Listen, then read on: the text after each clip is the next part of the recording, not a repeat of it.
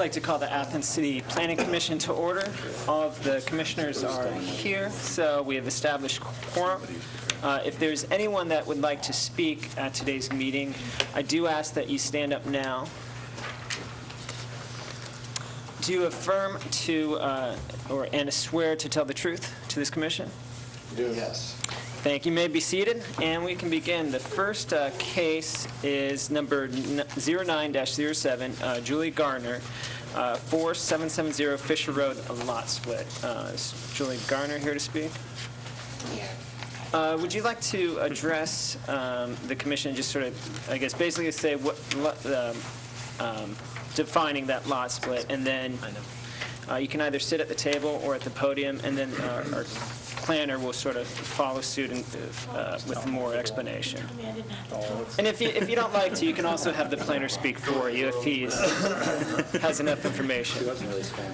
She Okay. wasn't planning to talk, I. I- it- Were were you planning, if you weren't, I mean, it's fine if uh, the planner can, I guess that's another way to do Well, I can answer questions.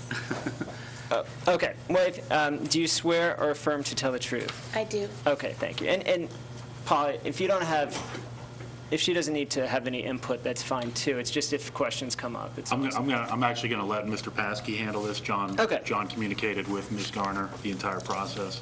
It's, it's a pretty clear-cut project as far as an approval on it, at least in my opinion. But I'll, I'll allow John to cover that with you. All right, thank you.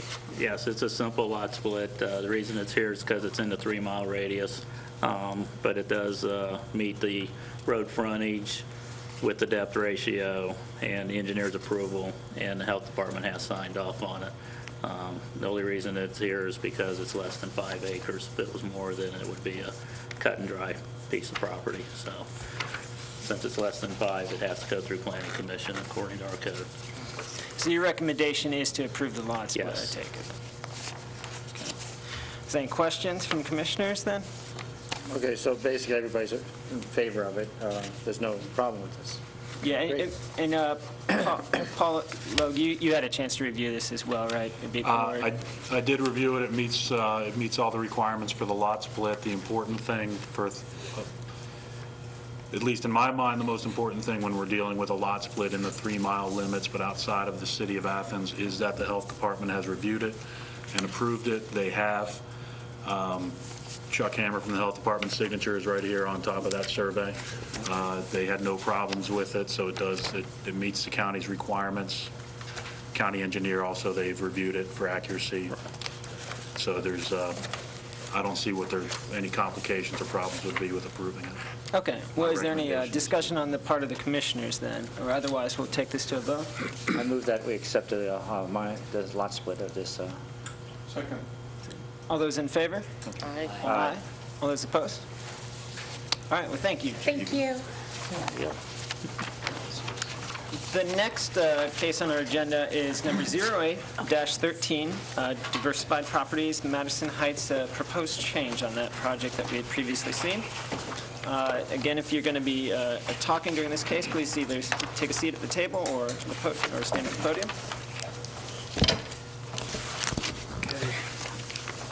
Um, Since we've uh, seen, I don't know how, uh, the best way to approach this might be to have uh, you guys sort of reintroduce this, since we probably will not make a vote, I imagine, today, since we're all sort of seeing this, but you never know. So, uh, you'd like to go ahead and represent this, the- present the change to commission, please go ahead.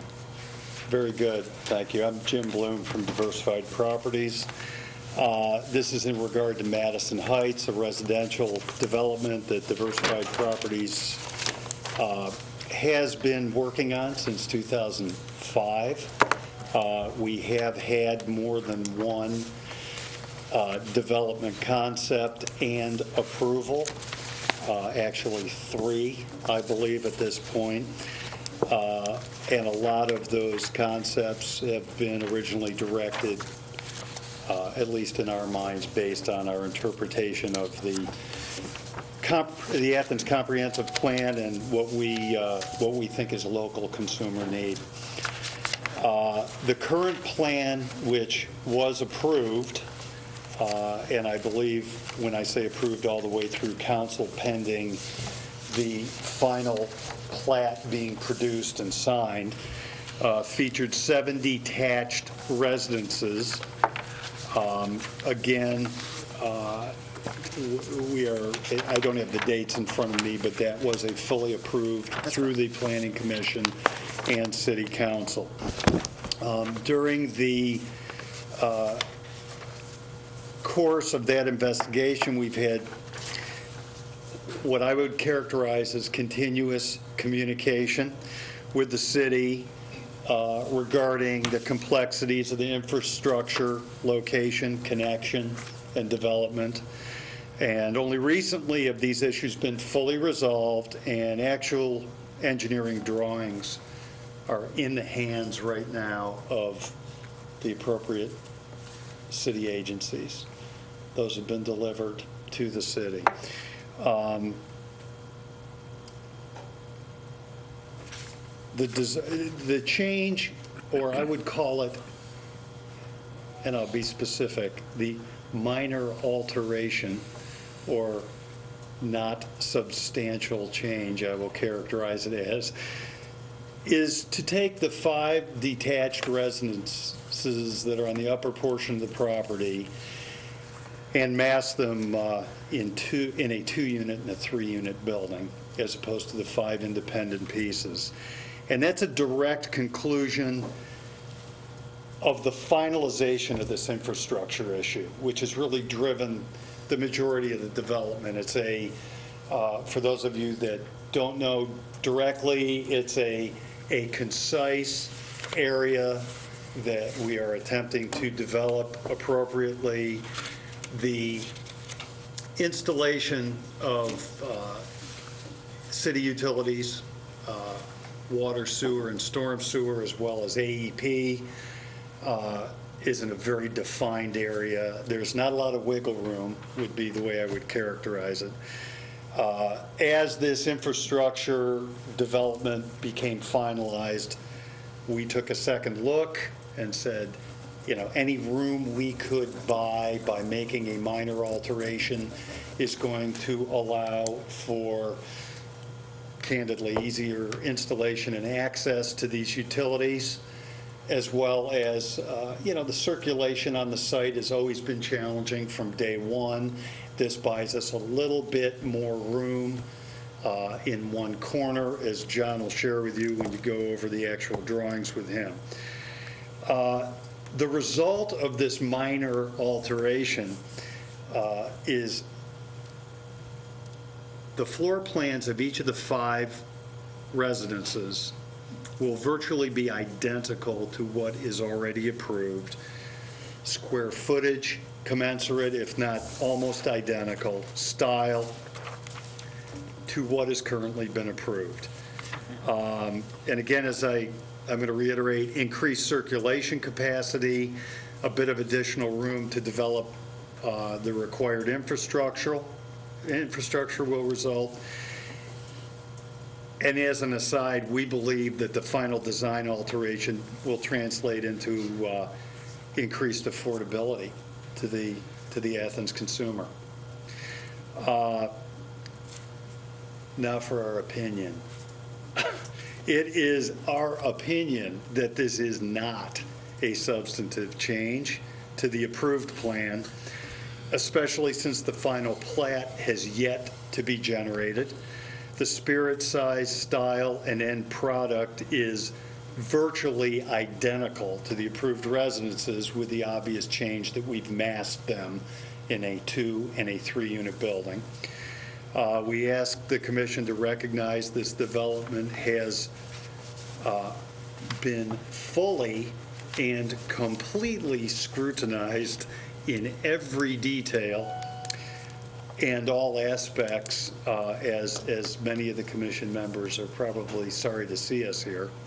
And uh, ask that we can move forward with the preparation of our final plat with this minor alteration.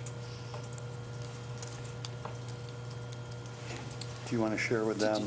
Yeah. Um, I don't know, do you have anything in front of you as far as that? Uh, We just have the, uh, sort of showing the, ex- what was originally accepted to the change of the silhouettes. A little bit easier to see, this here is the original plan here. Okay. Okay? And this is the revised plan, which highlighted in yellow, and I'll show you the floor plans in a second. Um, Obviously, the main flower shop location, nothing's changed, and the small carriage house where the garage is, nothing has changed. Then we have, you know, this very vegetated, pretty severe hillside right here. And then up top, we have five residences, and up here now we have the five residences. You can see what we've done is this area here inside this curve, which constricts, Mm-hmm. we basically turn that all into green space and allow for all this to remain, because this is a little bit tight coming through here. We're allowing all of this to just remain as is by massing these buildings, which kind of obviously clustered them together. And we've bought a little bit of space at the top of the bridge here between that and the title? back of the building to allow for access. Once again, I'm just reiterating reiterating what Jim said, uh, dealing with uh, Andy and uh, all the powers that be, trying to get the water, the sewer, electric, everything back in there. There's not a lot of, of room. So my idea was to try to just, you know, shorten this footprint a little bit and mass it a little bit differently and try to avoid some of this constriction here, get us through that spot there, because there's not a lot of room there. So you're saying the square footage is uh, essentially the same for each of these buildings, or? I'll get, yeah, it's got it.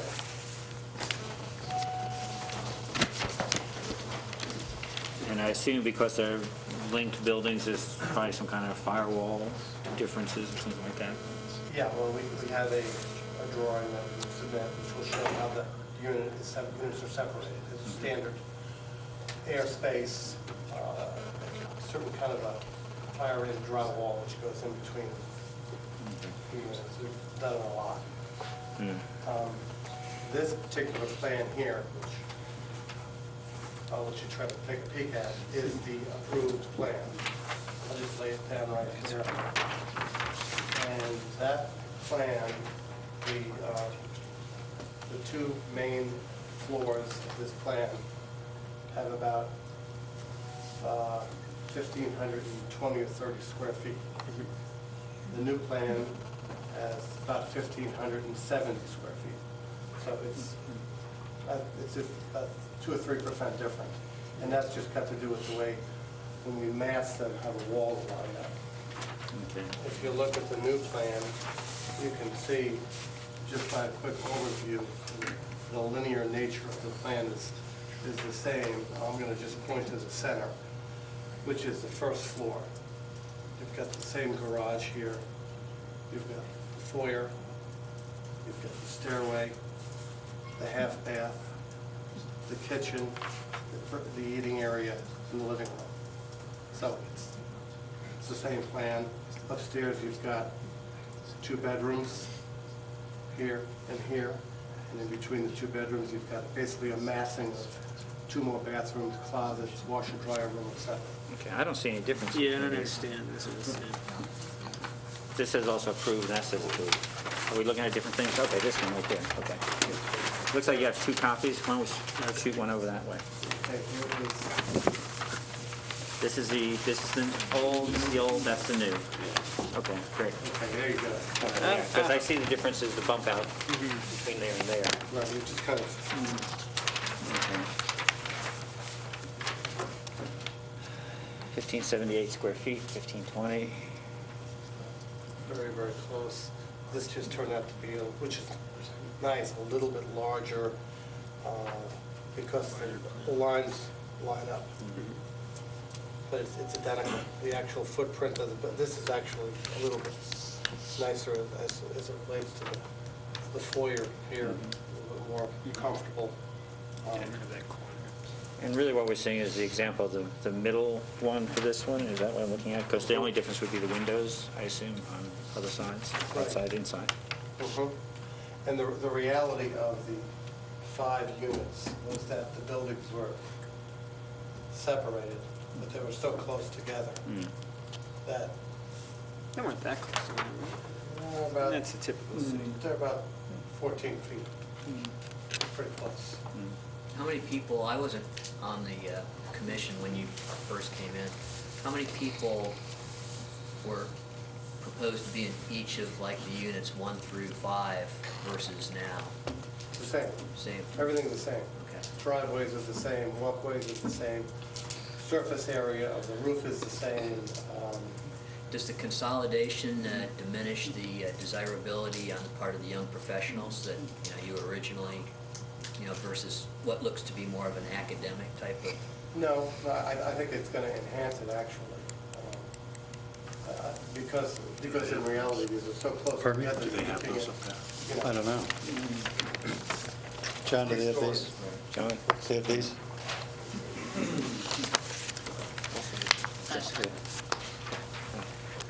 I'd like to address that issue if I could, regarding that desirability issue. I think at the end of the day, the location, and one of the reasons that we have moved at a slow pace on this development is it's as great a residential location as there is to be developed in the city of Athens. And we believe that one of the enhancements of this alteration is going to be, at the end of the day, more affordability for the buyer. So And I this is gonna think, look- This is going to look more like your project on Harold, a little bit? in the, in the sense that it's attached. Yeah. In the sense that it's attached, yeah. But uh, we think it'll be a, desi- because the desirability of the location, the amenities are virtually identical to what we approved as, as uh, the detached residences, that uh, we do think it'll be desirable. Obviously, that's, you know, our motivation. Um, Can I ask you a question just off the, the path there, as far as the traffic flow? Originally, I think you had the traffic being able to go both ways, all around. Did you uh, redesign that to where there would just be one flow to answer the concerns that people had about the, the bottom entrance of Madison? Paula, do you remember? I think the final thing was we're going to have a no left turn sign out, and that's what I believe council No, ultimately yeah. did. Yeah. So, At the No left bottom. turn. On the, bottom. yes, on the. On the bottom, no left turn. That was the resolution because an adjacent neighbor had a concern about their ability to get in and out and park in their designated parking area that they own. That's how we came to that resolution. Right. It was Plus, I- directed. Plus, I had heard from a number of residents who use that hill that, that uh, that might be kind of a dangerous uh, exit area, so close to the uh, the Sure. stop sign to the And intersection. and I believe that's how that resolution Okay, great. evolved. Was, the- uh, I'm curious, was that, that, that would be a new addition, right, the no left turn? It's not like the current, the Athens Flower Shop was not allowed to make left turns, patrons. Correct. So, I think the concern was, that was brought up at the council level, I okay. believe. That's right. Because I I don't remember that at the commission. No, it was, so, at- the okay. council started, uh, two considerations of the council at the time were, um, one is the, uh, the elevation of the upper uh, exit egress where there was, the slope was too high. Yeah. And the other one was whether there would be, what kind of flow was going to be happening, circular or otherwise. Yeah, I know Right. the elevation issue was brought up here, too, so. Right. So uh, really what you're asking is that uh, this just be um, kind of like um, approved, I guess, along the way. Um, I do know that there have been some changes. I believe uh, we want to speak, have uh, Jessica Dine, the Okay. manager, project and development manager, speak, say a few words. Um, I imagine that some of this, uh, I noticed that the first drawing that you gave us has, um, and I'm probably stealing her thunder there, uh, locations of the water lines, and I assume that has changed uh, somehow, or was that part of the, part of the You- infrastructure was why, you say infrastructure changes? You, you have, I believe, in your hands, the most current engineering drawings for the infrastructure. Okay. Okay, so that is, at tho- those are prepared to be submitted to the EPA. I mean, that is ready to go as, as to be built. Okay. And I think Jessica can speak to why this all developed regarding utilities. Just if you would go to the podium, there's trying to be enough space for you at the table today. And introduce yourself for, for the world. I'm Sarah Petline. I work in engineering and public works, and I'm the projects and development manager.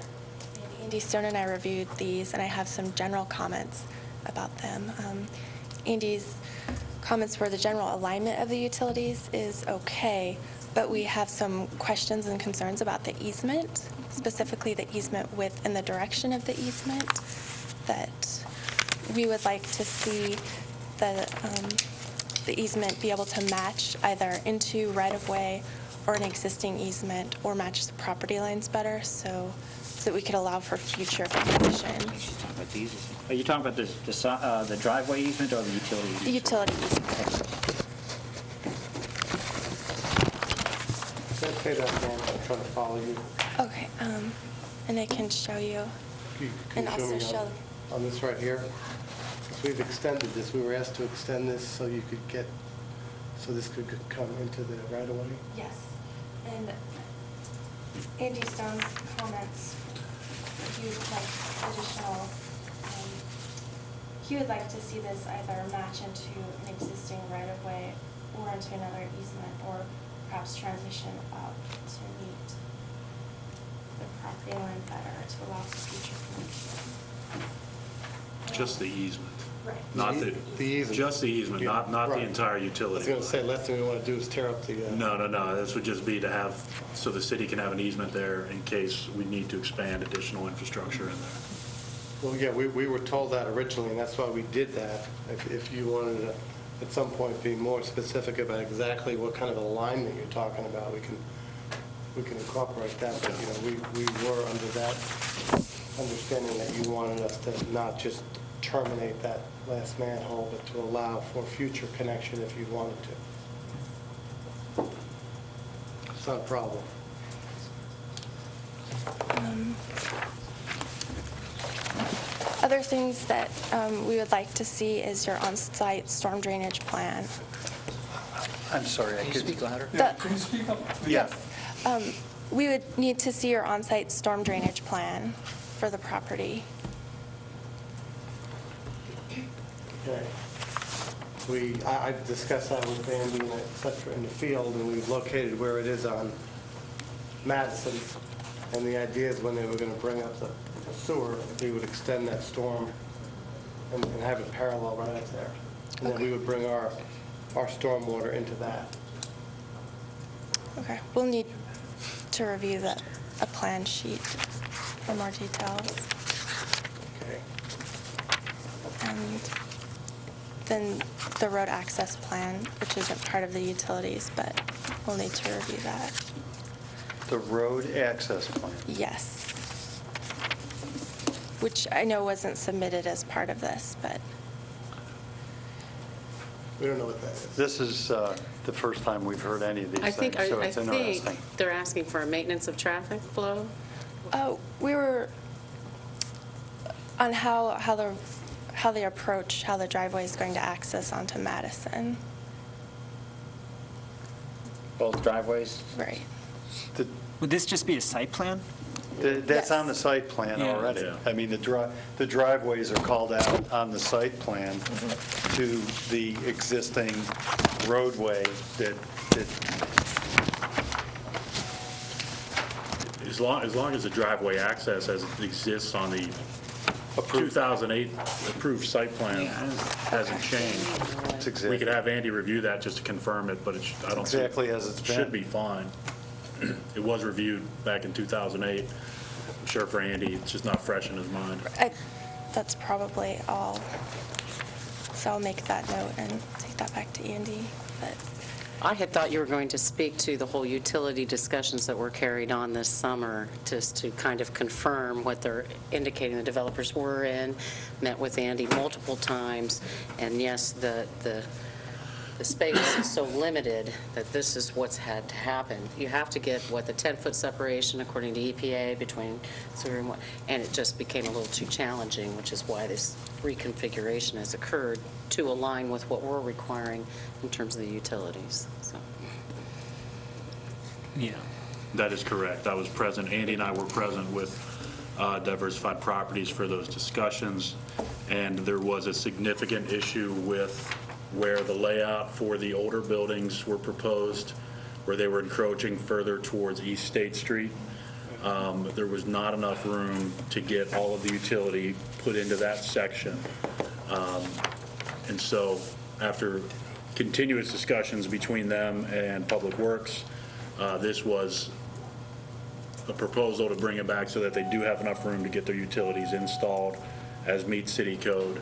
Uh, But to do that, they had to push the buildings back, which is one of the reasons that the buildings now are smaller as far as from lengthwise. A little smaller, and obviously getting rid of that, oh, the last building No, I just mean, allows us not having to go around that tight corner there. And that'll make a nice green space. And it'll make a big green space. So that'll be nice. All right, so uh, what I'm understanding is that this is really just driven to allow for the utility easement. It isn't so much that you wanted to see attached buildings, which is, I mean, that's fine. I guess just explain that. And that's what I got from it. We had, And we that's a- had, for purposes of discussion only, Right. we had two different approvals previously, which were attached structures. Right.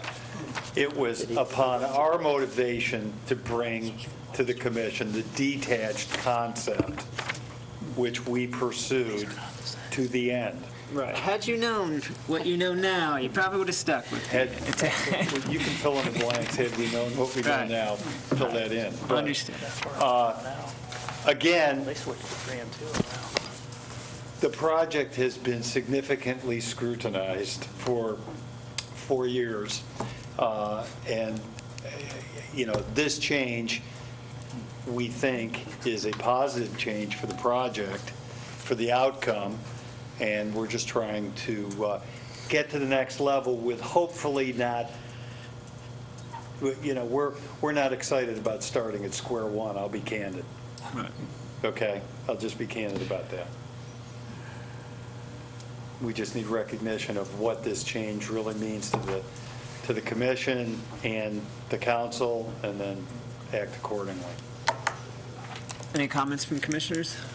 Um, So really, the question is whether this is significant enough to actually start from square one and and continue, or just say the modified um, plan unit development is adequate, and uh, as long as able, the, the final plat is put together in accordance to what the Public Works wants. Is that what, That's my understanding.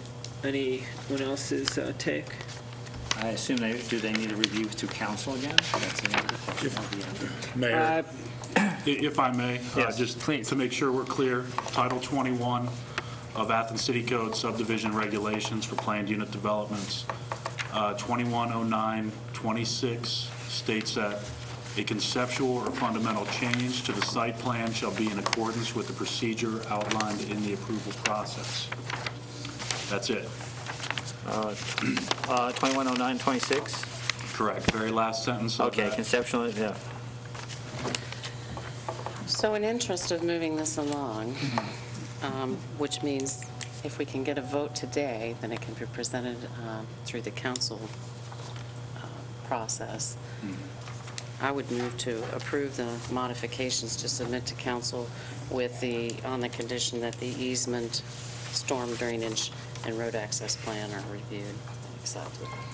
Paula, would, would we need to approve it with a recommendation for a variance because PUDs are supposed to be larger than two acres as well? That was So we're back initially to one of the this, approvals, yes. so, just in case.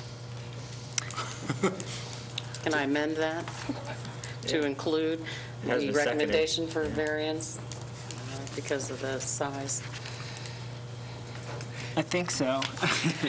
I guess where my uh, confusion, and I think we're all a little confused in a sense, is I I think it all has, a lot of it has to do with responsibility. Whose responsibility for knowing that 10-foot easement was there when the site plan was originally conceived? Was it the city's responsibility, was it AP's responsibility, or was it the developer's responsibility? I would just say that the utilities have been challenging on this project from the beginning. They really have. Mm-hmm. We've gone from tying in from East State, tying in off of Madison, And the developers have worked very closely with Engineering and Public Works to f- get this finalized. I, I guess, yeah, where I'm, I'm leaning, I don't see this as a conceptual or fundamental change to the project. It's, if it's moving buildings closer together and uh, back a little bit, I mean, I think it's still the same project. I mean, it's just was being altered due to that easement. I, in other words, if they were to move the row 10 feet, that would then qualify as a fundamental and conceptual change in this reading. Even if they weren't to move any of the buildings but move their e- easement from the site plan, that would qualify as that, if we were to read it that way. So I, I, I guess I'm sort of, I don't know if I see it as a a fundamental change. Does this obviously, does it move it back closer to the houses that uh, are owned above? the Excuse site? me? Do, do these structures then move closer to the homes that are located above? There are no homes above. There's just No, the Yeah. road exists, and the driveways come off of there, It's a completely vegetated area, there's no houses. yeah. Okay. I mean, I'm, I am very, I've been doing this 30 years, I'm very sensitive to topography, changing grade, and the realities of this type of construction, and that's what's driving some of this, because I know when we get down and dirty into this, what I don't want to do is disturb this hillside. And I know what it takes to put utilities in, get the job done uh, in- in a manner that we're not going to disturb the, uh, this vegetated area. The reality is you're not even, gonna- not even going to see what we're talking about here from East State Street. All right, I'm just Because- talking in regards to that one house that's tucked up on the hill, back away from Madison. Yeah, you guys would. Yeah, that might, maybe it's, maybe it's further away than I thought. It mu, it must be, yeah, there, you can't see anything. Okay. And they go farther back, almost to the... Okay, so what was the Since I- motion again? I've placed a motion. What was the and motion again? My motion, but, you know, know, Nicholas has even thrown me a utility- curveball. I I apologize. That's quite all right. Um, Planner, the question before the commission that Nicholas has brought in is, he does not, he is not viewing it as a conceptual change or a fundamental change. Trying to do this the best process. Yeah. That is a good question. I, I would say conceptual or fundamental may be, it could be argued either way. Um, Still the same amount of units, still the same, similar, still Same- going to be same condominiums. use, Still going to be the same use, still the same amount of bedrooms, et cetera. Um, Whether clustering buildings together as opposed to having them separated out, that's really the only change. Whether that's a conceptual or a fundamental change, I could be persuaded either way on it, I suppose. Um, I, d- person, from a personal perspective, I don't think it's a significant change to what was initially proposed. Uh, I, I would say, at a minimum, we should probably have city council review it to make sure that city council is on the same page. It is still city council's responsibility to approve the final plat.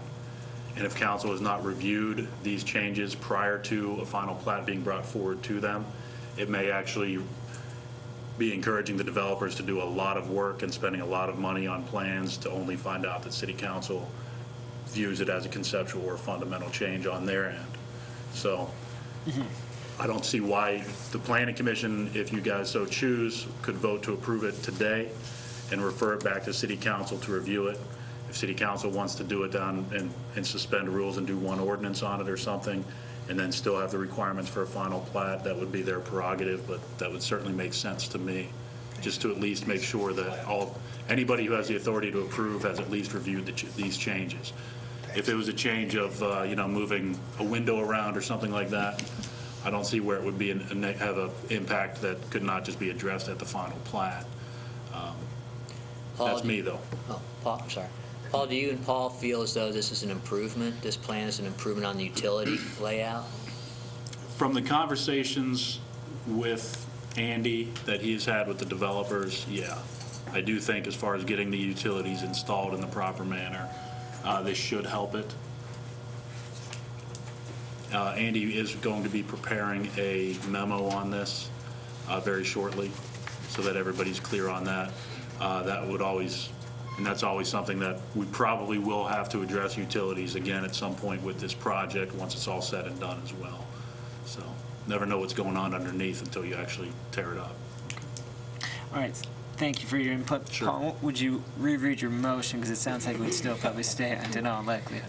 I make a motion that uh, the planning commission approve and recommend to council the, this latest modification pending um, with the conditions and a variance, let me get this right, from the acreage size, that condition that uh, the easement for the utility line, storm drainage plan, and, and road access is reviewed with uh, Andy Stone, our city engineer and director of public works. I'll second that. All those in favor? Aye.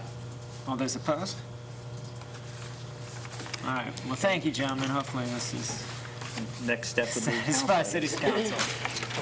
Thank you. Thank you.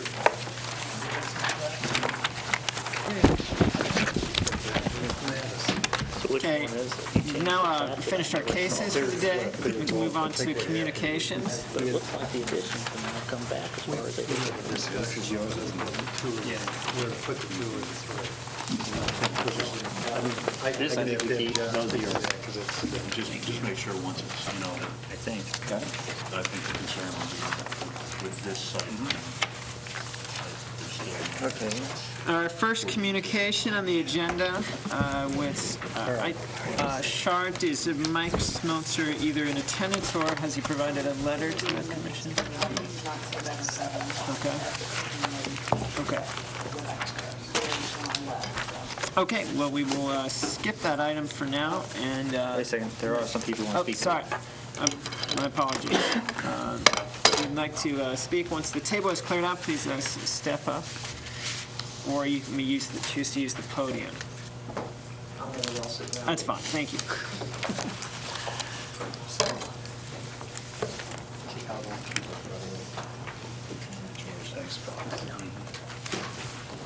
you would uh, state your name uh, to the commission. Uh, John Wharton.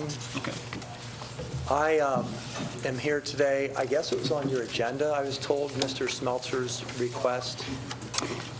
Yeah, it- we had just uh, received news this morning that he was not going to be attendance, but he was in all likelihood to drop off a letter. We have not received that letter, so we don't really have, I'm his letter, oh, you, you, his letter. Well, I appreciate it. yeah.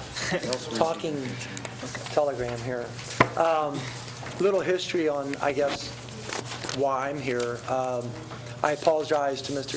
Kashigi. Um, I think it's been starting in the early 90s. Uh, You've been on the Planning Commission since then, I think, um, where um, this is, actually, this topic has been addressed. This will be the fifth time, I think. Uh, The rezoning of the northern block of the uptown area to um, conform with the rest of the uptown area as a B2D. Um, I brought it through the Planning Commission, or to the Planning Commission, just five years ago, maybe, I guess, four or five years ago. And so I'm pretty familiar with the pluses and the minuses, the differences between, um, or I was, B2D and B3. Uh, The downtown area, the uptown area certainly has changed over the last, uh, I guess, 20 or 30 years especially, whereas uh, the northernmost block of Court Street has, in our opinion, become the most attractive block of Court Street. We have one vacancy, which is the Blue Gator. Uh, It's become a very, um, much of a retail uh, type of area between Cornwall's Jewelry Store moving up there 10 years ago, probably, and, and um, the Import House, um, and uh, Court Street Collections, and uh, other types, similar types of retail businesses. Obviously, Stevens has since moved into the Seven Sauces former location. Um, And um, we rented some office space on the corner, which is now occupied by um, Jeff Paddock. And then about three or four years ago, I was involved in sell- selling Mr. Smeltzer the office building that he has now turned into his office building uh, and done an extensive renovation. Uh, It used to be a law office on West State Street and is now his financial planning office. If you've never been to it, I would encourage you to go look at it. It's the most beautiful office in, in the area, although Mr. Chaddix is very attractive as well. But um, the, um, I guess the impetus of our concern, there's advantages and disadvantages to being a B3, and there's advantages and disadvantages to being a B2D. Uh, The greatest advantage to the B2D, as far as development or developers, is you are not required to provide parking for retail or commercial space. Nothing to do with residential. You still have to provide your parking for residential, but you don't have to provide parking for your retail or commercial space. Um, As we try to find a tenant or somebody to buy the Blue Gator building, depending upon the use of the building, that becomes an issue. To have to um, provide parking requires you to out, to go out and either get a lot within 250 feet to provide your parking or get a variance.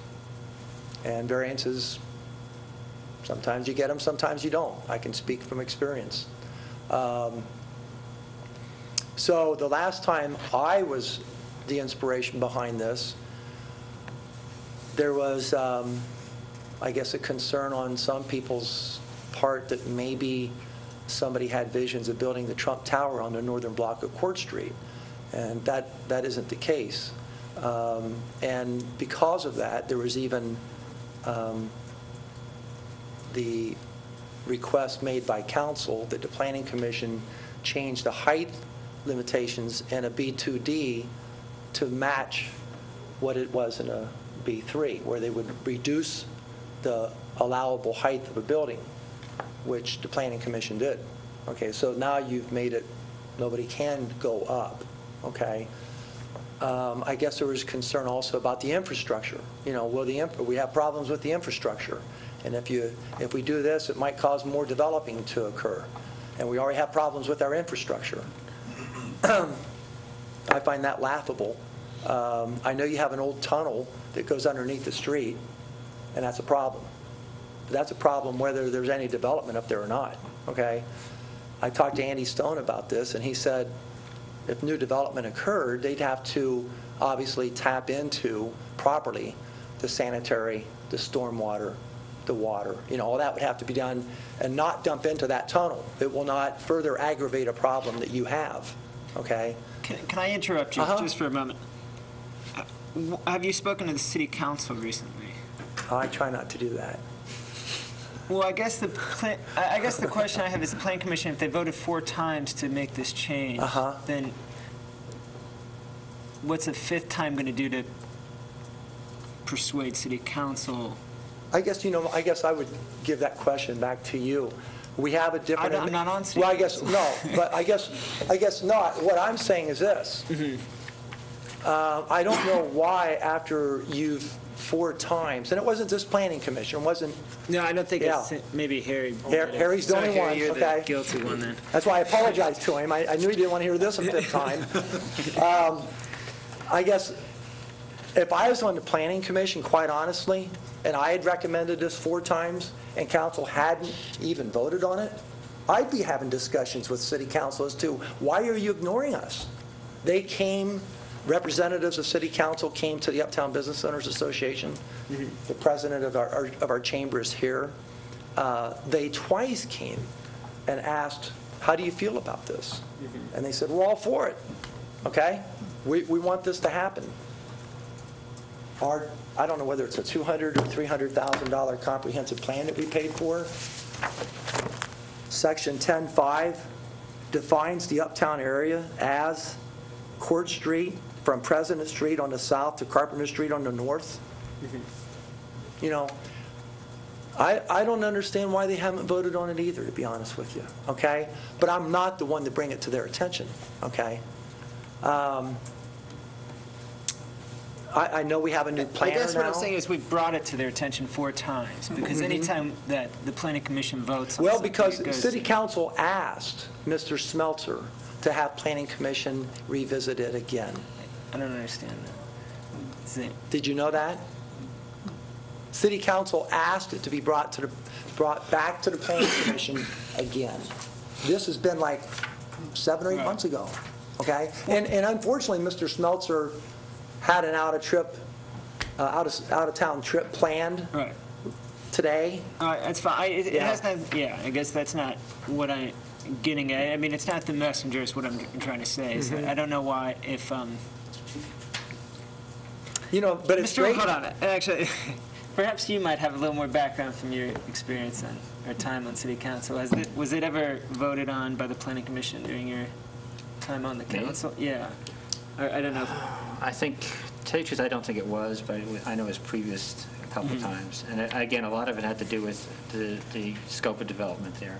The parking, commercial parking was a concern. Um, I think the, the discussions, uh, at one point, they were talking about trying to reestablish the um, distance from the parking garage, a 500-foot, was it, radius? To reestablish that as a distance. The- the- I think Mr. Pearson, probably about three or four years, did did a, uh, an inventory of how many commercial lot parking spaces there were, and therefore how many could actually change over. Um, And I, I know those were some of the concerns, but um, I don't know. I- I- Why it didn't uh, swing over? A lot of it has to do with, uh, okay, a lot of, okay, you mentioned the pros for B2D. What are the, con- uh, the- what's the cons for B2D? Uh, You said- you're- You said they're pro and cons. Yeah, you- you're limited on the size of your signs. And and when this was initial, one, I think maybe the third time it was brought to the planning commission, or the second time, the only two objections from any property owner on that block were uh, Oh, yeah. Kevin Goldsberry And. uh, and Jack Stoffer. Yes. Okay? And Kevin was concerned because with his sign, it would, it would no longer comply in size, and, and that was a concern, okay? And, and Jack's concern was that the uh, building that he owns that the barber shop was in would be limited on what uses could be, what tenants he could have. Is this coming back? Okay? So those were, yeah, I see you saying, Yeah. oh, yeah. Yeah, Um, freestanding signs, I remember this Yeah. now, and the, the business of having some mechanics in the front room where it could be seen from the window outside Mm-hmm, is in a B2, there's restriction on that. And, and those two property owners are no longer opposed to this. Um, When I brought it to the planning commission four or five years ago, we even had like 60% of the property owners had already signed a petition that we presented, where they were all in favor of it. You know, the sign, you know, see, it used to be that block of Court Street had car dealerships, gas stations, I mean, lots of them. Uh, mill- Milling, wa- way back, if you look at the old pictures, uh, lives, I mean, it was like, it wasn't anything like the rest of the downtown area, okay? And, and being a past president of the Uptown Business Owners Association and being, uh, trying to be involved in the betterment of our uptown area, I feel like we're almost a stepsister of that block. You know, we're not, we're not looked upon the same, we're not treated the same, we're being subjected to parking regulations that, that the rest of Court Street doesn't have. Uh, I mean, getting into this discussion as to, you know, changing the parking garage counting for 500 feet or less, or should we expand it or whatever, that can be a whole nother discussion on our parking and the restrictions for residential parking, okay?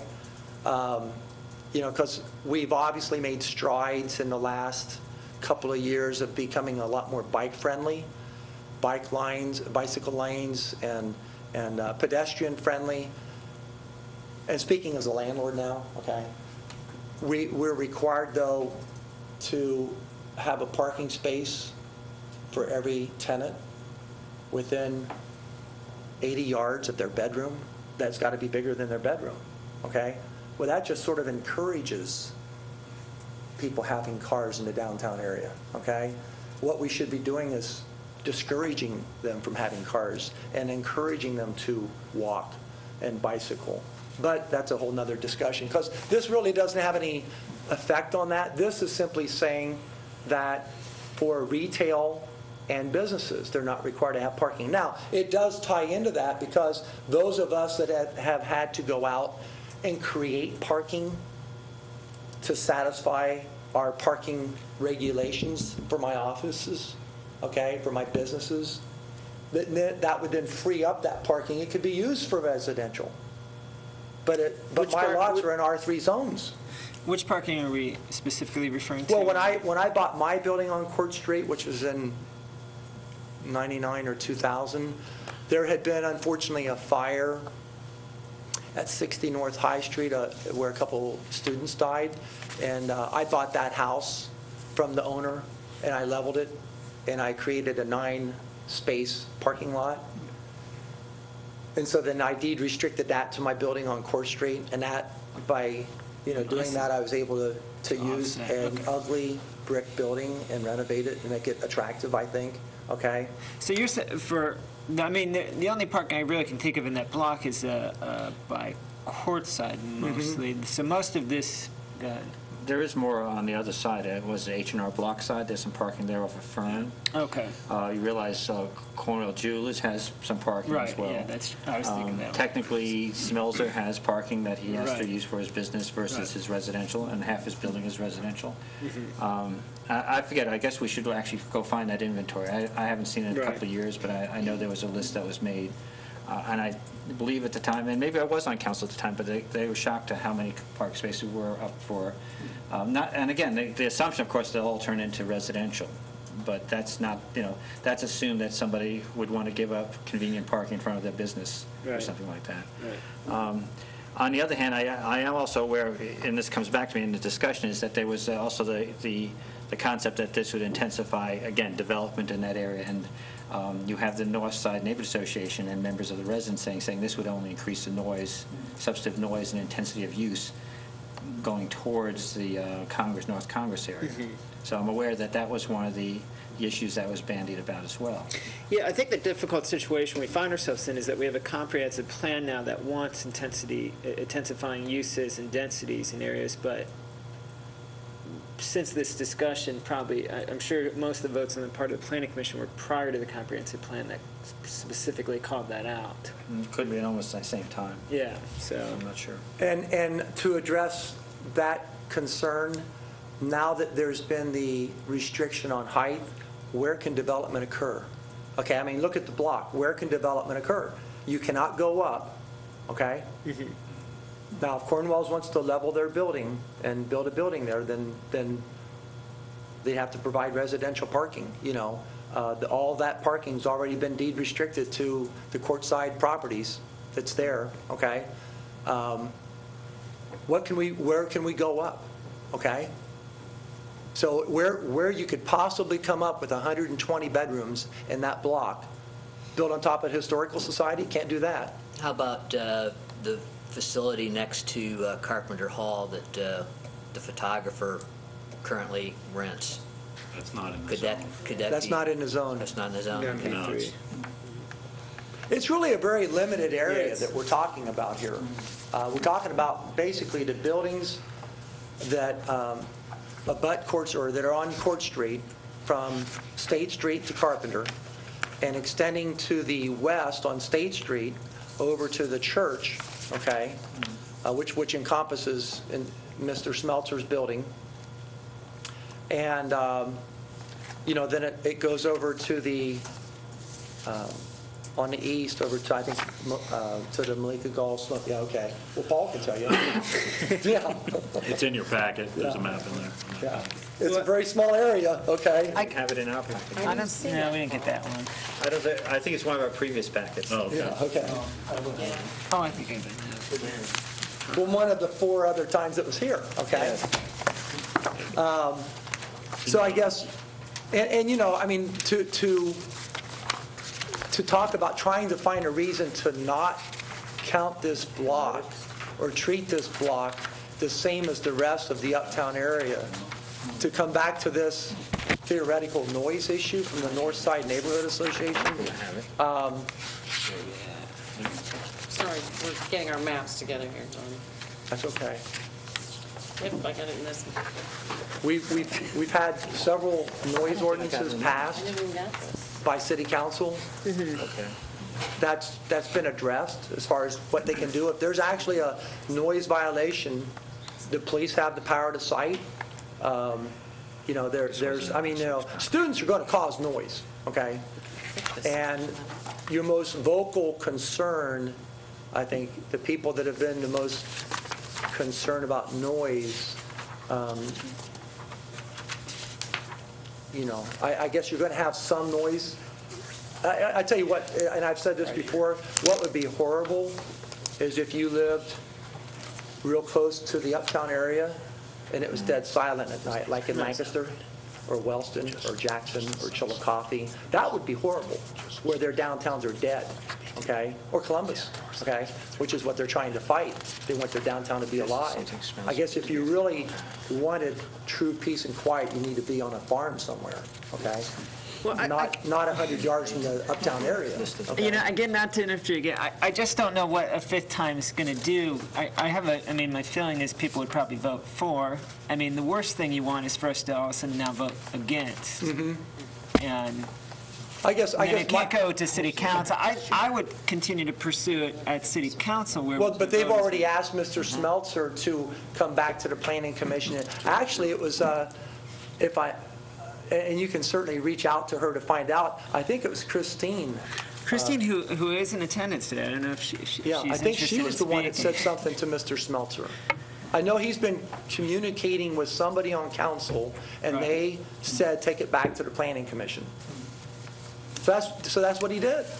He's the one that mm-hmm. brought it back to you again. So, yeah, I agree with you. I, I think it's unfortunate that it has to be heard a fifth time or acted upon a fifth time. I think that's unfortunate, because there certainly is better things to do with your time than hear this for five times. Can I ask Christine, as long as she's in the Sure. audience, what the, what the council's concerns were that they're kicking this back to the planning commission? I- There's, um, there's issues about the fact that council is, a lot of the people on council are new. You know, a lot of the people who are on it have never seen this proposal. Um, is also uncomfortable, um, they like to act upon recommendations from the planning commission. I've tried bringing certain things before council, and they have said, we need recommendation so that they can act on it, and that's But they part have of... But if the Four recommendations. recommendations are already there, But also the fact that um, it has, we had no planner. And that was my main concern, is that the four recommendations came from planning commissions um, without the input of our new planner. And um, I, that's, so that the issue with the increase in the density that's already occurred there, um, and it would be the most up-to-date because we've had building go on, um, and the recommendations from the planner. And so to bring it all up to the most current, because the other recommendations weren't, you know, didn't necessarily cover and look at what's already gone on there. Um, Also with some of the infrastructure development that went on with, uh, with Carpenter and such.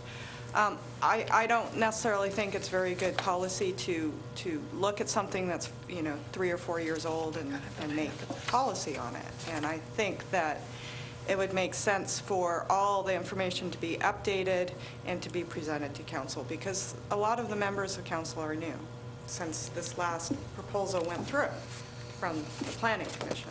And, you know, um, I mean, we, I could try, I, one reason is I talked to council members individually about this, um, as, you know, and they said, many of them said, I'd like to hear what the planning commission has to say. So, I mean, I could try it again, and it may decide, they may say, we don't have enough information and we feel uncomfortable about bringing it, so.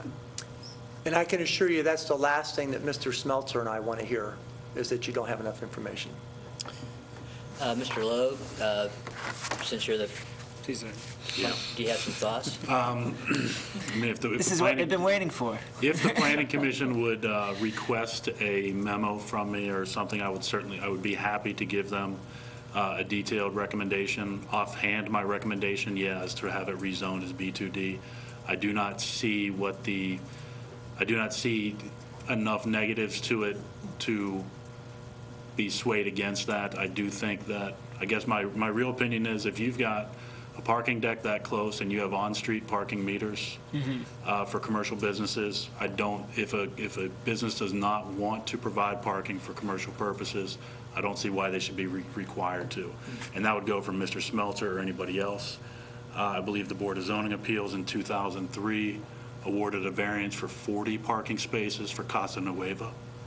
Uh, I don't see how those 40 parking spaces variances have been, I don't see how that would be legal to do a variance for that. What's that? It it doesn't seem like that would be, should be permitted for a variance if it's specifically stated not to. was. That seems like that was an opinion and not actual. So I, I don't know if we need the memo so much as city council needs to receive the memo.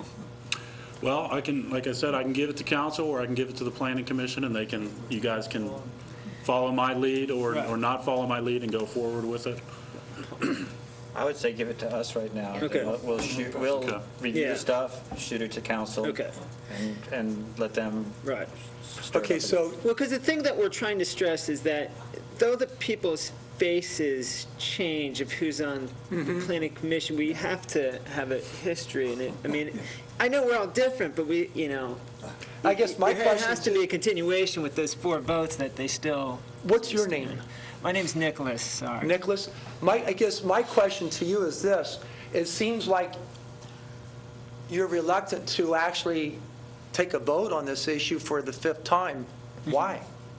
I mean, just like city council's got new faces, I I feel like it doesn't sort of validate the, our previous votes, and it makes, it sort of waters down each time we do a vote on something. but what I don't want to see have happen is the letter of recommendation goes from Paul to you, you hand it to council, council turns around and says, yeah, but we still haven't heard from the planning commission. So what does it hurt to let the new members of the planning commission take a vote? Mm-hmm. Okay, what's it hurt? We certainly spent 30 minutes, you know, beating up something right before this, you know? Right. Take five minutes beating this up, okay? Well, I, like I said, I, I'm just acting as chairperson, I'm reluctant to, to bring a vote as a motion, but any of the other commissioners are more than welcome to bring that motion up. I don't mind taking a vote on it, but I would prefer uh, not to vote on it today and and Okay. see more information, because this is the first time then that this has been brought up to me since uh, I've been sitting here. So Mr. Logue will give you his recommendation, and you guys will discuss it, and then we'll wait to hear back from you then. Is that fair enough? Okay. I think so. That's fine. I mean, we're not under any timeline, we just, we would just like to see it continue to move forwards. Just since. That's night- fine, Yeah. okay? Okay, Okay, thank you. May I make a suggestion as well? please. Just Since uh, John is our zoning and director, he may want to, I will work with John as well to get the, to get a, to get his two cents on whether this should be rezoned as well. He's a, if we're talking about rezonings, it should not just be the planner discussing that, it should probably be our zoning enforcer, so, Okay. Fair- Fair enough. agreed? Agreed. All right, um, thank you, J- John Warren. Um, Next item of communication is a request from City Council, another one, um, um, to amend or remove section prohibit, uh, section of code prohibiting vegetable gardening. Um, And we do have a document on that very such uh, change. Did City Council provide this document, or? Um, A citizen did. Uh, There's a group, uh, CFI, and some other uh, interested parties. I think uh, the drafts actually, were- well, I- there's actually two drafts you can see in place there. One was sent directly to me, uh, because there was a conversation I had with somebody, believe it or not, at the farmer's market. Okay. It Didn't change much from the other uh, draft concerning um, gardening. Okay, I'll, I'll read the uh, second draft aloud then. Okay. Um, It's a proposal to amend the Athens City Code sections, uh, to amend 240401 R1 residential zone, one family, as follows.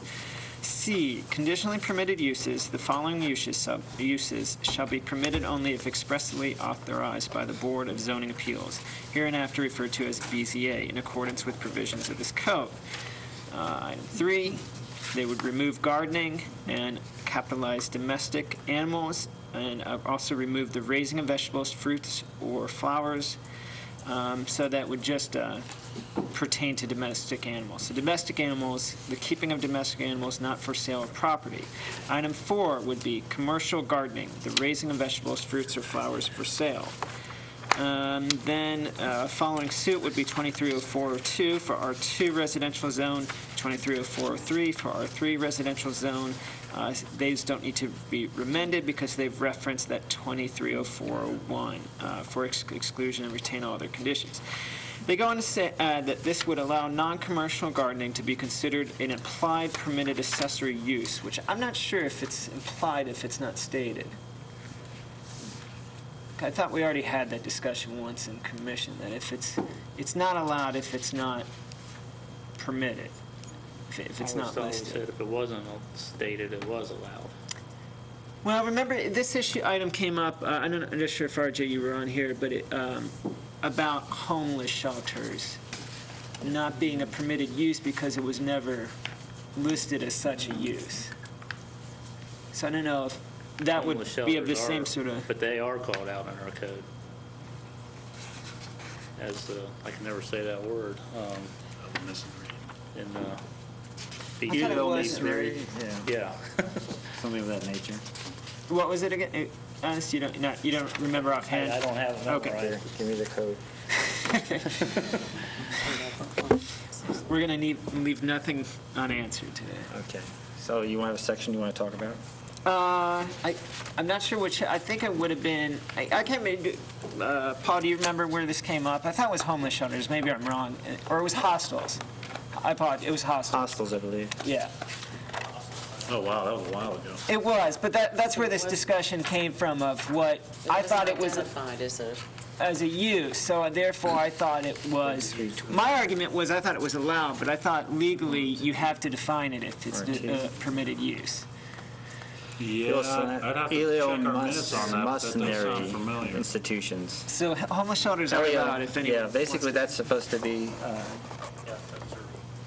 you pronounce it, Elio. No, I won't. E- Elio, Emoslia. Terry knows what it is. What is it again? Homeless shelters, Elio Masonary, okay, yes. And, okay. So I, I guess, yeah, that, all right, all right, let me You're talking about continue and we'll go hostels. back to that. Yeah, there was hostels is what the, where that came from. Um, Speaking of the history of the planning commission. Um, Number two was to, ret- uh, item for them was to retain consistency across all sections by amending 910, or section 9.10.02 as follows. To add stronger language to address untended yards. Um, Noxious weeds, grass to be cut. Every owner responsible for maintenance of any lot or land within the city shall be required to cut all noxious weeds. They would remove grass or other types of vegetation, other than trees or shrubs. And grass would be an addition, growing or being upon the lots of land as aforesaid by cutting to a height not over eight inches. Any growth of such- noxious weeds, removing grass or other vegetation other than trees or shrubs other than such height or reaching maturity, maturity, and to remove line. And then adding to that, where grass over such height is hereby declared a nuisance. Garden and landscape plantings that are maintained and trimmed as necessary to prevent overgrowth and blight are not subject to the eight-inch height requirement. Okay, well, okay, I can see why they're, they're paired together, because the concept is you could have a real scraggly garden. Right. Or a lot of weeds and noxious plants and say, this is my garden. Uh, On the other hand, I will point out that section 91002 is actually outside zoning code, and council can do this without our, our say-so or recommendation. even. Right, it goes just twen- Title 24. And 41, we also get a little. Okay, and the thrust of this is to, uh, again, is coming from the Community Foods Initiative. Uh, I think uh, the conversation was, I think, with Kent Butler at one point, too, concerning uh, home gardening, domestic gardening, and stuff like that. Um, I gave you copies, you should have copies of the 1992 Athens City Code. It's the one scribbled up with all these little uh, pieces in there. I will point out the first, uh, second column uh, under R1 bullet number four, agricultural nurseries. This was deleted in 90, somewhere late 90s, because it really was talking about nurseries and greenhouses and general farming, including, not including commercial, provided they are on a tract lo- not less than five acres. At that point, they were saying there aren't enough five-acre plots to worry about. On the other side, though, uh, the second uh, paragraph down, or rather, the first paragraph down, gardening and farm animals, this was the actual section for the non-commercial use.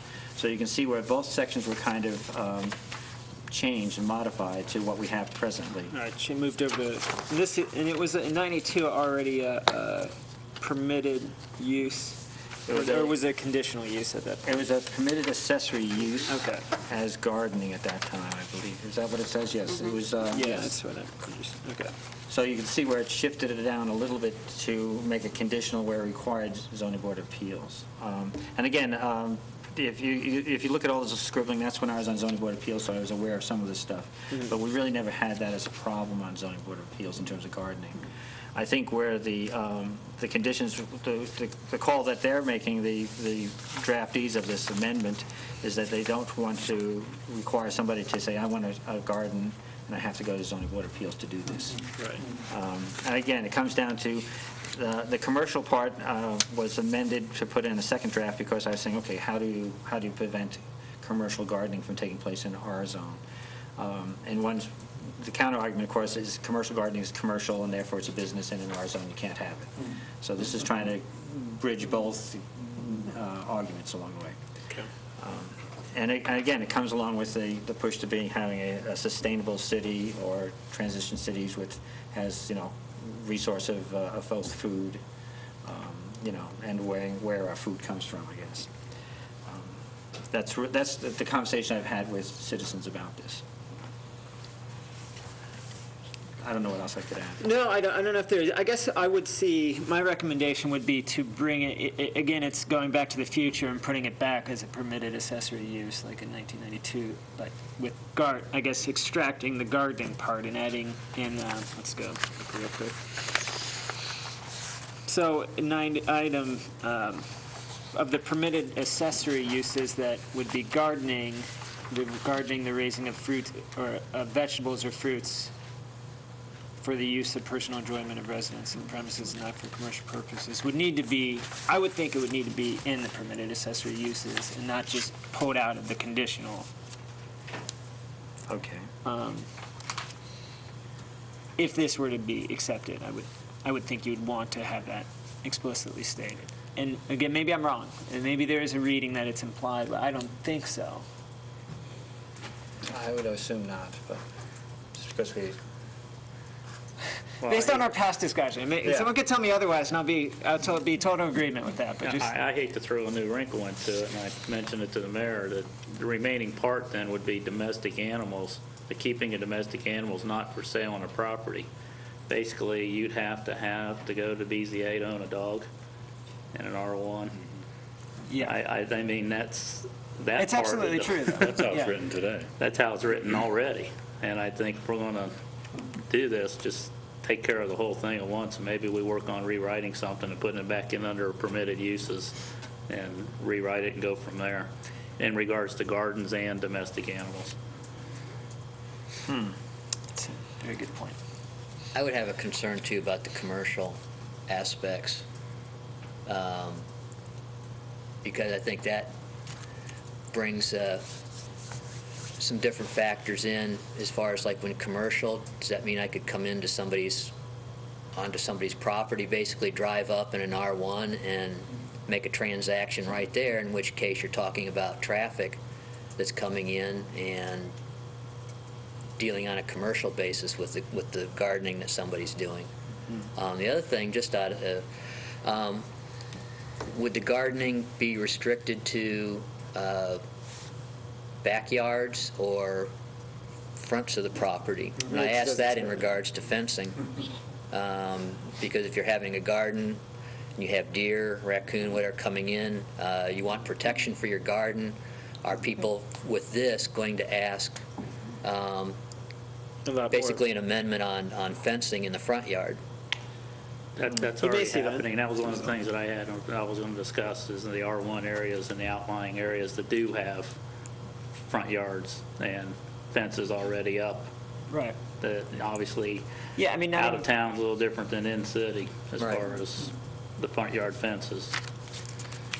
But I've had experience with uh, neighbors across the street, well, not in Athens, but in another community, where basically uh, they began to operate commercial activity out of their home that required customers to come to their property and make the transaction. And you had a lot of, of, of increased traffic on that street, and that would be a concern that I would have. I think there are other sections of code that prohibit businesses in R1 zones. I mean, you can have professional businesses of some Right. sort, you can have home businesses, Right. provided they take only a certain amount of square footage. I think... um, But as uh, long as this is consistent with that. Yeah, so is the argument, in a way, should, should it be made that you can't, in an R1, there should be, why, why do we even have the commercial gardening as a conditionally permitted if, if the R1 zone explicitly states you can't have a commercial? Right, if you're just talking about self-sustainment, um, you know, domestic gardening for your own uh, pleasure, you know, that's fine. Um, But, you know, I had, again, the reservation about the con- commercial aspect. Okay, uh, again, uh, by referring to the old see 92 that, law, it you- uh, we was, kind of, right. we're kind of muddling it, because really what the thrust of this amendment is to get, uh, get it out of the, the area that you, every gardener who has a guard, backyard garden has to go in front of the zoning board of appeals to get a garden going. Right. Um, The next question, of course, when does it, you know, if it goes into commercial grade gardening, then in theory, uh, the the way the uh, the proponents of this or this change wants would, that would kick in your commercial, you're running a business and have an R1 zone, therefore that's prohibited. Um, And you'd have to get a variance for that of some Right. sort. I mean, that's what it's stating, indicating, is saying, these would only be allowed, the dog that we all have, or commercial gardening if they got the variance from. Right. So, Well, it's, it's, Well- it's almost the other way, and then we almost really need the gardening and the permitted uses, and then there shouldn't even be any mention of the, of the commercial as a variance thing, as a variance option. And I, I just bring that up in terms of giving uh, the the BZA, you know, added, I don't know, uh, Guidance, isn't guidance in the, in the issue.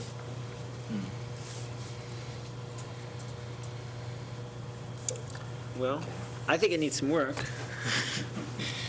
I don't know if we want to, I guess, is there anyone on council that wants to try to, or not council, commission, I apologize, uh, that would want to, uh, I know council doesn't want to take anything up, uh, but would want to work on trying to adapt this to what we I'll- see, or does it go back to maybe, I'll go back to the, the original seems like they're interested, I Yes, guess. I, I- I've had discussions with the, with the people who wrote this up on Mm-hmm. on many occasions. Um, m- Some of you probably know some of the people, like, Yeah. uh, I think Rhonda Clark, CFI, Okay. as well as Kent Butler has wrote this up. Butler, Um, Again, I think um, the alternative, as you say, is to move the section into the permitted accessory uses, and just, Mm-hmm. and that's one way to avoid it. Um, We could take the old wordage, we could take the new wordage, commercial can be in and out, provided we're aware of the, and again, the commercial part, I think, is good because there will come a question where somebody's saying, okay, Right, I I've got see a that. garden. Um, There have been cases where somebody has a garden and they end up there at the farmer's market in a booth, and it's like, okay, now they're commercial. you know. Right. Even though they're not selling on property, they're, they're now growing production Right. level Right. crops. And that's something that the BZA would probably be made aware of, and that maybe would help in their Okay. decision. I'll, I'll try getting back to these people before the next meeting, no guarantees. Uh, That's a task for me. And um, again, the other part is to look at the noxious weeds section too, and make sure we have some kind of, um, you know, lo- this they're trying to do is because you had occasions, uh, if if you look at, I think, the minutes from the packet from the uh, B2D section there, which I I somehow don't have. Um, I- There's a section of Got a minutes in there packet where they from- discussed the fact that there were people being cited for sunflowers in their front yard because it was over eight inches. Right. Uh, Okay, so that's one of the issues you have there, is that we want to put some kind of, you know, uh, there's a push also to get away from lawn- lawns that require lawnmowers. And Right. I can see where they start talking about that, but then it becomes, you know, that word blight in there is going to be one of the problems right there. It's, a very, it's very subjective. Yes. Is wild, is wild grass a plant or a noxious weed? Uh, I've had people call up and say the bamboo is a, is a grass technically, and therefore should be no longer than, higher than eight inches. And we have some good stands of bamboo in this town. Mm-hmm. Uh, So uh, the question arises is what, you know, when does that fall into? uh, you know, Right. I remember that discussion being at a, a former city I, I lived in where bamboo was qualified as grass. So then the neighbor went out and cut everything razor sharp. After that, the city no longer said, it's fine, grow it out. So Little points on it, huh? I, I could see some, uh, see some residents, unfortunately, in this town that would do that.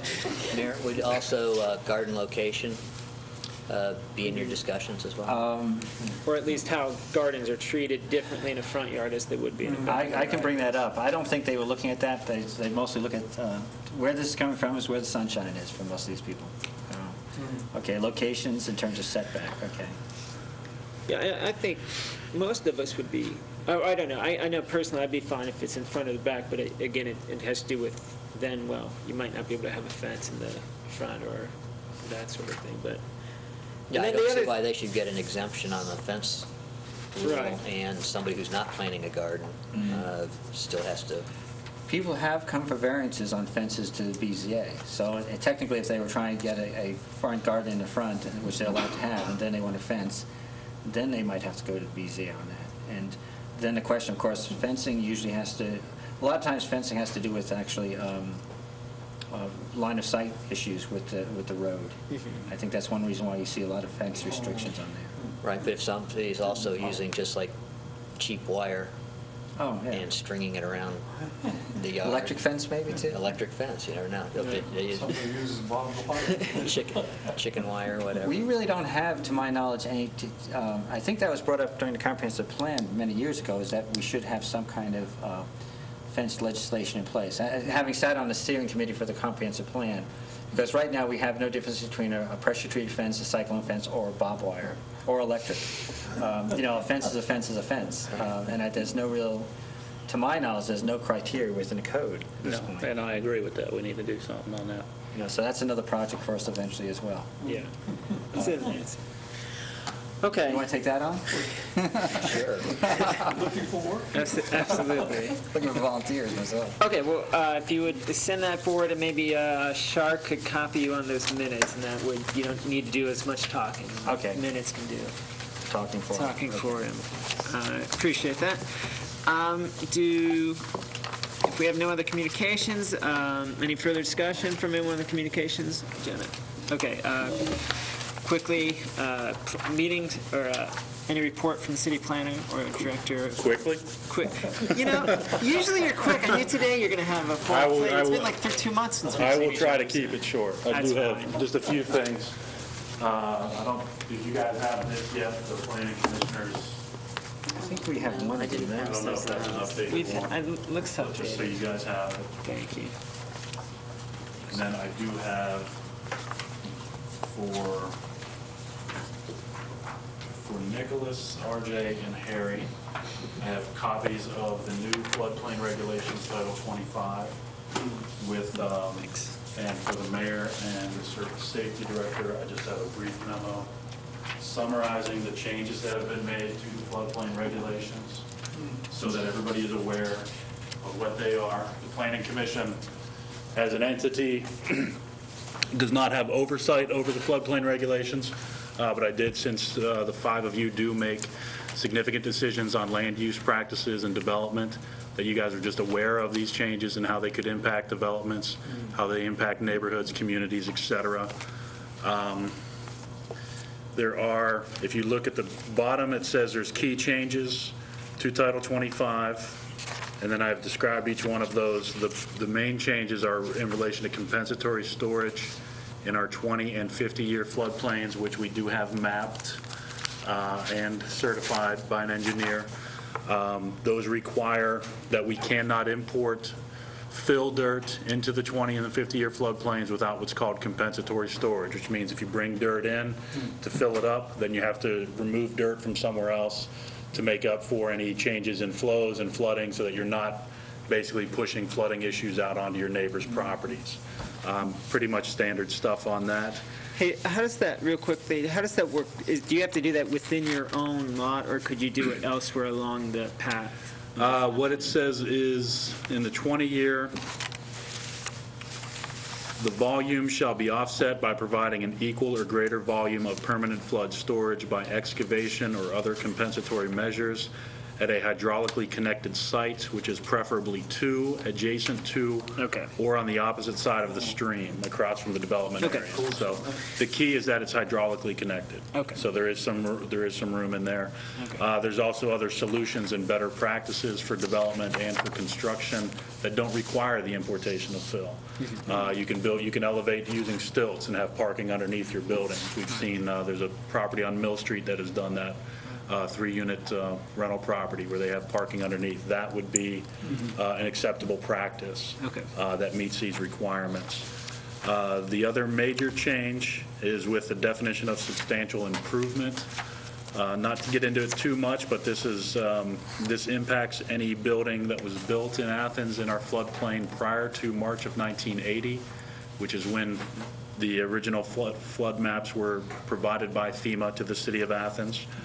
Uh, Those properties are grandfathered in. Most of them are not above the base flood elevation for a 100-year flood. So if a, if a flood hits, those properties are going to have significant damage to them. Uh, As part of the requirement, also when, if you're doing improvements to a property like that, FEMA's requirement is that if you're doing an improvement that, ex- that hits 50% of that building's value, in order to get a permit to develop in that floodplain, you must bring the building up to, up to modern standards for the flood elevations. Um, They do allow you to do, if you're doing improvements at 50, less than 50%, you are allowed to do that.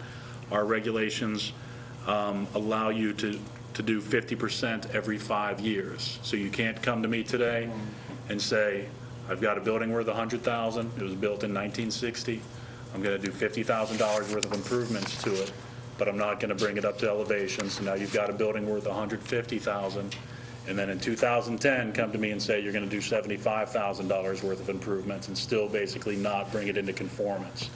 And so that's been addressed in the new flood regulations.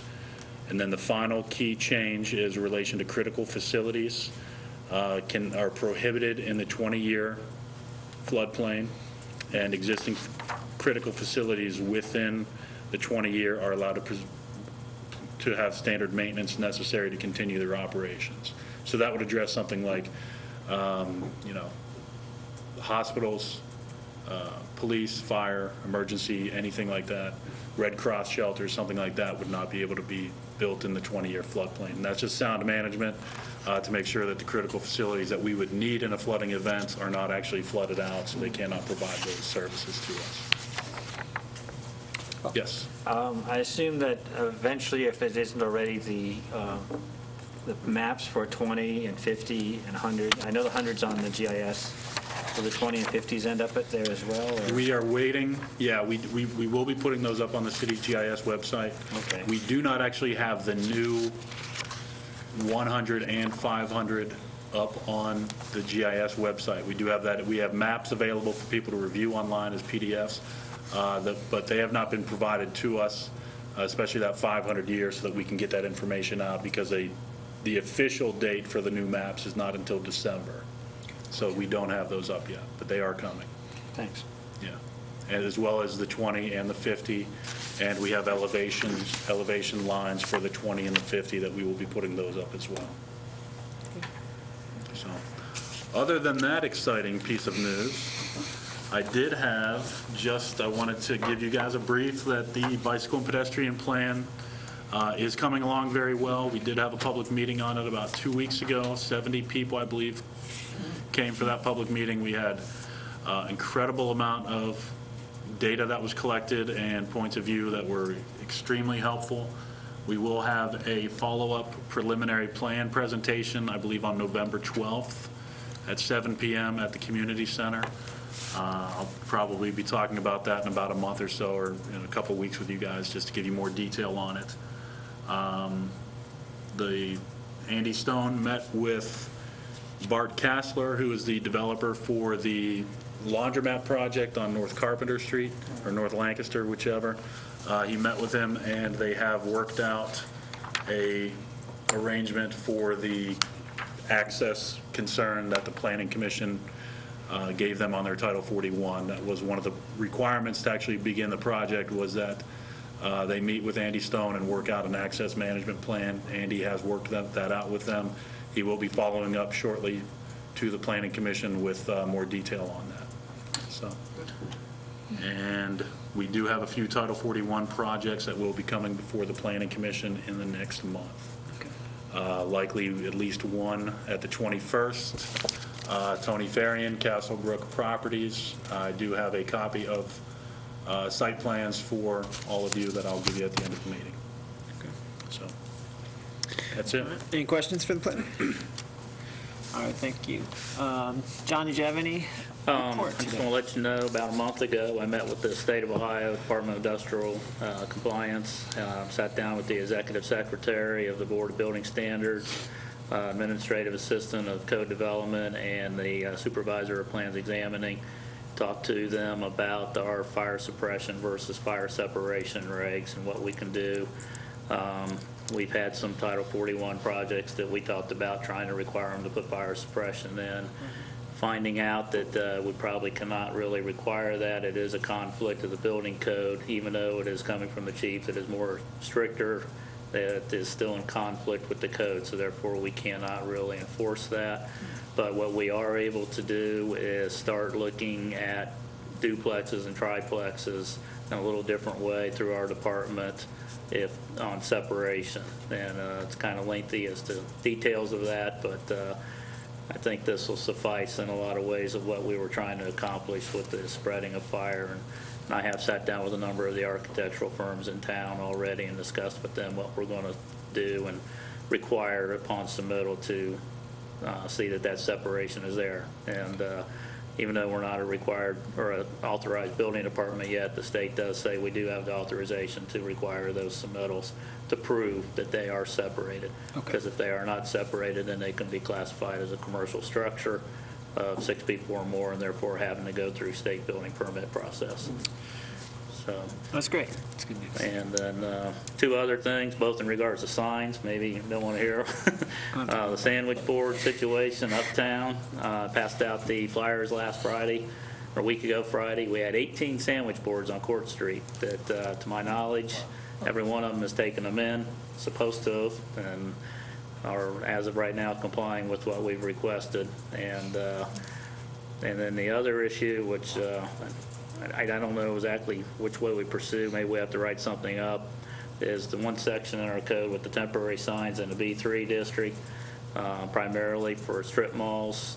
Um, We've got a concern that we're coming across in our office with people coming in wanting temporary signs for- out on East State Street, for example. Um, On a strip mall, if there's eight businesses in there, if a person comes in and wants to apply for temporary signs, how many can they have? Basically, it's to the point where Market on East State could have 200 temporary signs out front, or if, somehow we got to put a number on this and get a control, and maybe a maximum number of temporary signs that's allowed by one tenant within a building, something to that effect. Um, Paul? Um, Okay, I- I- again, if it's, if my memory is correct, and I- I'd have to go back and look at this type of stuff, um, a sign, temporary sign can be no larger or bigger than the, uh, the sign, the full-size sign. Correct.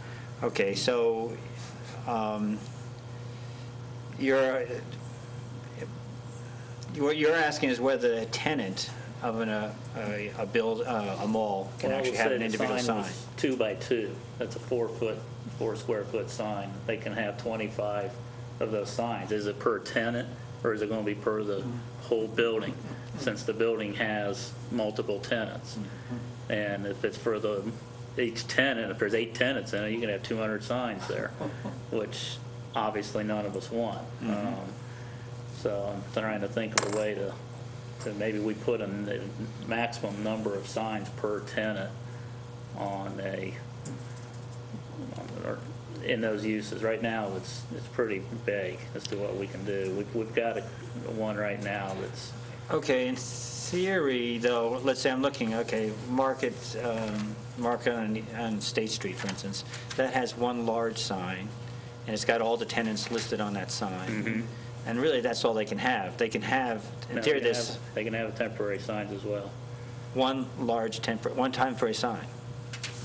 Uh, other than, uh, including the freestanding sign, which they've got, they could also have temporary sign. But that would be that one entity, the one shopping mall. No. Okay, as a premise, the entire premise, which then, correct, it would be a total of 100 square feet in that situation. Divide Okay. that by four square feet. I know this is kind of, I think we, we had a little bit of this discussion when we were talking about real estate signs. Um, I think the classic is the one, uh, College Apartments, I think it is, by Hungry Howie's there, has at least four or five, um, it's condominiums.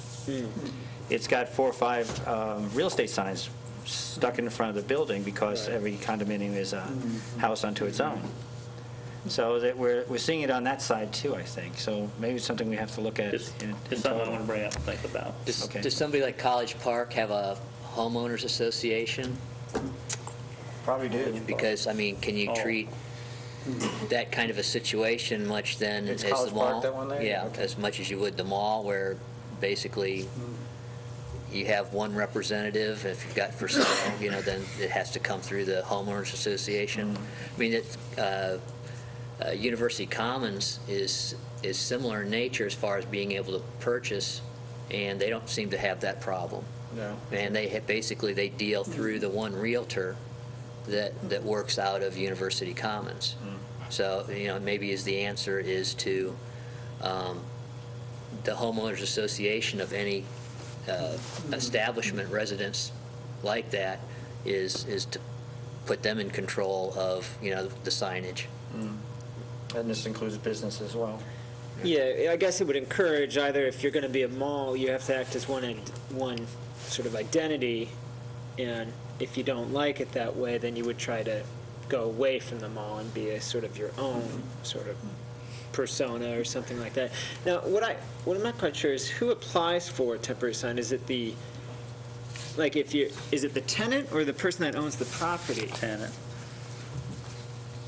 So then it's, yeah, so the, t- so a bunch of individual tenants could apply for the sign, but it- we can only give them one.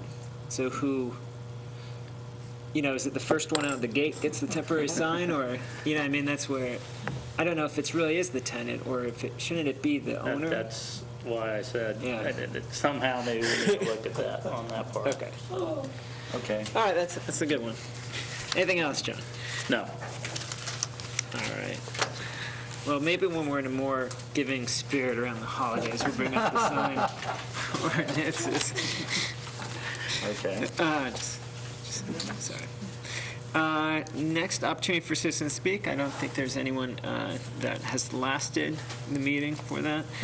Um, Announcements and other business. First, uh, next meeting is October 21st at uh, noon. Any other items? Um, I believe the city council's talked about having a public hearing um, next, not next Monday, but not Monday after, which would be the 19th, I think, concerning when we talk about the changes of that, uh, the letter changing between B2 to B2, 3 B3 to B2. Uh, They were going to have a public hearing on that uh, before the regular session of city council. Okay. So that would be at 7. And I just want to relay it because it does relate to what we're doing. Absolutely. And we just looked at it as a kind of a typo, but Right. other than that, nothing else. Okay. RJ? No, TJ? Okay. Um, Disposition of the minutes from last week, or last week, I should say, two months ago. I move we accept the minutes. Second? All those in favor? Aye. Aye. Anyone opposed? I would like to say a comment, though. I would like to see, I'm looking at my notes from the July 15th meeting last time, and there was quite a bit more detail that was provided, in- particularly in the planner's report. I guess I'd just like to ask for s- a little bit more additional, not to make it too cumbersome, but he actually identified some of the highest volume for the ped and bike plan areas, and and I just didn't see that related to minutes. Yeah, I mean, I- and the other thing is, if you had anything, you know, if you had, uh, on the reports, if something was prepared, you know, um, as well that would be of use to the commission, you could always submit that as well, and that could be part of the minutes. But otherwise, you know, it could just be something that Shar can cover, so. Very good. All right, uh, I would like to make a motion to adjourn. Second? All those in favor? All right. Any opposed? Good. Thank you.